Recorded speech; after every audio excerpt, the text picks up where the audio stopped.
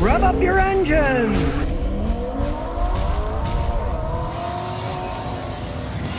Today I'm going to talk about something that really peeves me, and that's shops trying to rip off people. In this case, lady took her car in for the yearly inspection. Now the price for the inspection was fair, $21.99, but the rest of the estimate, maybe not so fair. $2,755.59. Now people often ask me, Scotty, why do these inspection places even do inspections for 20 something dollars?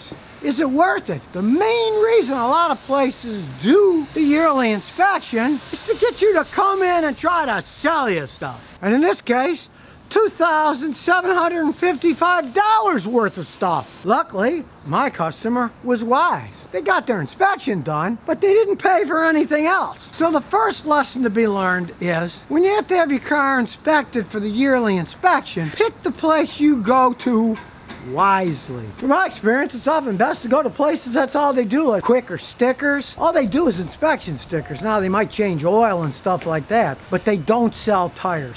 They don't try to sell you a whole bill of goods. They make their money by inspecting car after car after car. There's a mechanic down the street I know. He decided to train one of his guys to be the official inspector to inspect people's cars once a year. I said, why are you going through all that trouble? And he said, because that'll get him in here and I can sell him stuff. And man, that was years ago. Has he sold people stuff? I have seen people who went to him and then came to me. He was just charging them for everything, whether they needed it or not. That's a problem in a big city like Houston. These garages have big overhead. Say their overheads 250, 350, 500,000 dollars a year. They have to charge that kind of money just to break even. And possibly even worse are these chain stores. The sales guy who's trying to sell you this stuff. He gets a percentage of everything. A lot of the salary is based on him selling you stuff. Years ago, a friend of mine used to work at one of these places and he quit. And the reason he quit was because he was more honest with people.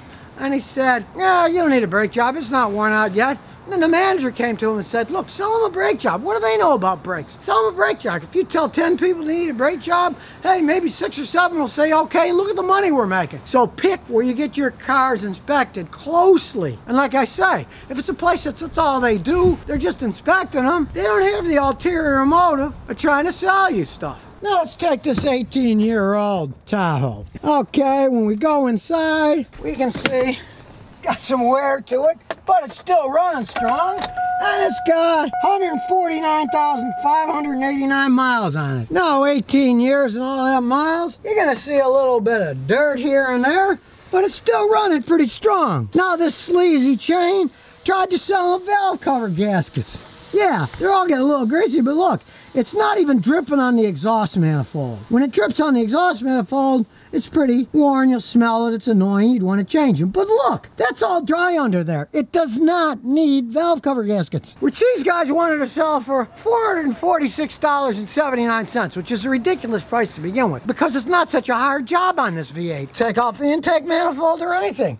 They're just bolts on this side, and we go to the other side, there's bolts here. It's a pretty easy job. So these guys basically were attempting to put insult on top of ripping them off. Not only does it not need the job, but they were totally overcharging for it in the first place. Look at the tires. Lots of tread here, lots of tread here. We'll go around the other side. Lots of tread here.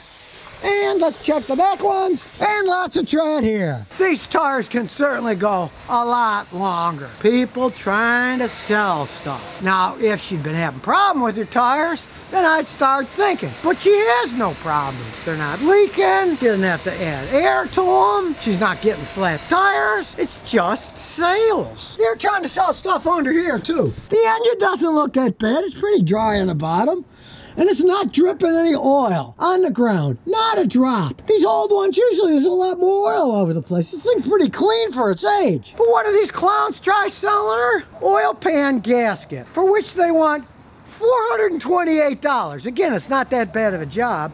and engine seals. $373.29. They're not even dripping and leaking the crown. They're not even all that dirty around them. Heck, my old Celica's ton times dirtier than that, but it still doesn't drip on the ground, and it's been that way for decades. Now, as a car ages, things will seep a little bit. But as I said, on this thing, no big deal, but it's pretty dry for a car that's 18 years old with all those miles. I normally see a little bit more grease here and there, but even if it had that, it's not even dripping on the ground. It doesn't mean anything. Check the rear end. Now see what I say. You get a little bit of grease. It's got some grease on it. But I checked it and it's still full of fluid. But of course, they're trying to sell it a farm on this too. Axle seals.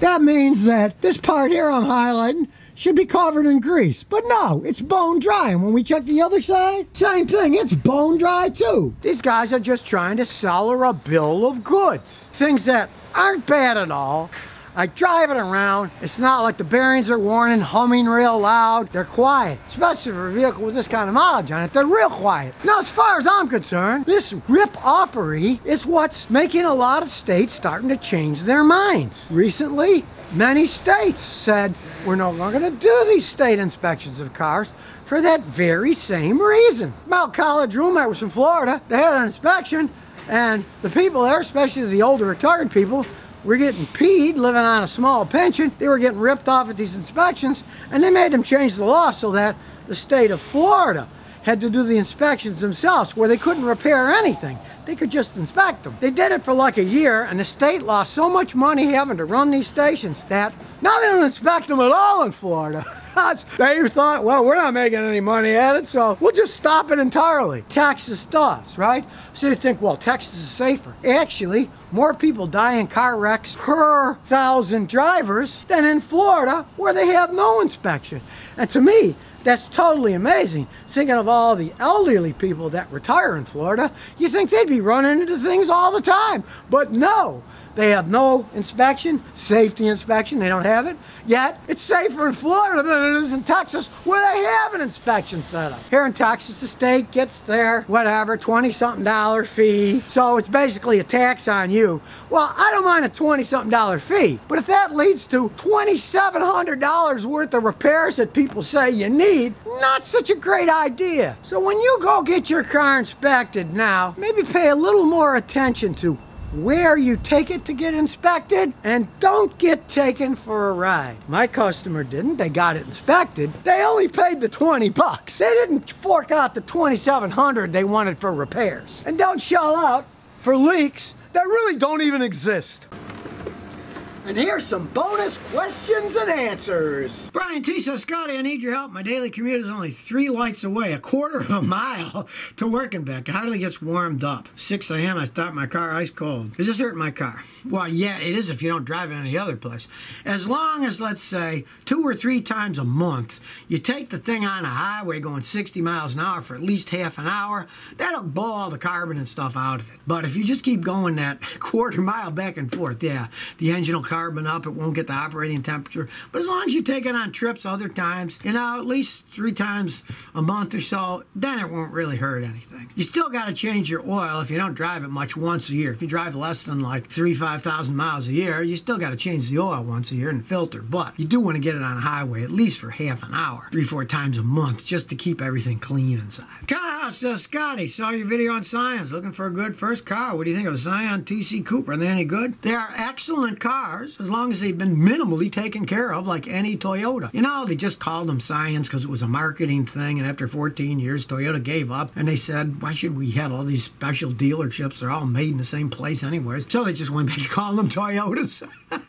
you want any problem getting parts or anything? All my customers, those they love those cars. The only problem I've ever seen in one was crazy friend of mine, John, who drives like a lunatic, and he had road rage, and his had a standard transmission, and he revved it so high, racing somebody that he blew the engine. But that wasn't the car's fault; it was his fault for driving like an absolute maniac, which he admitted himself. Put a used engine in it, runs like a clock now, and hopefully he's learned his lesson from road rage. He told me he thinks he has, so maybe.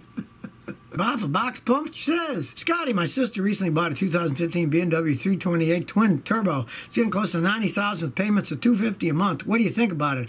I think your sister just invested into an endless money pit. 90,000 miles. I got a customer with that same vehicle who is getting rid of it now because it needed the twin turbos and it was going to be over $5,000 to replace them both. So I think your sister got ripped off royally and she's got any way she can get rid of that thing, get rid of it now. But if she doesn't, hooey, tell her not to put too many miles on that baby because when it breaks, she's going to find out that her $250 a month payment is nothing when she needs a six, seven, eight thousand dollar repair on the stupid thing.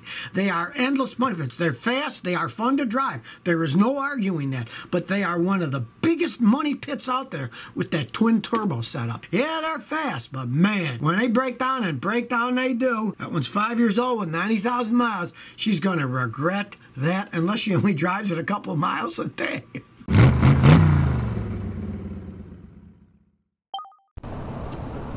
So if you never want to miss another one of my new car repair videos, remember to ring that bell.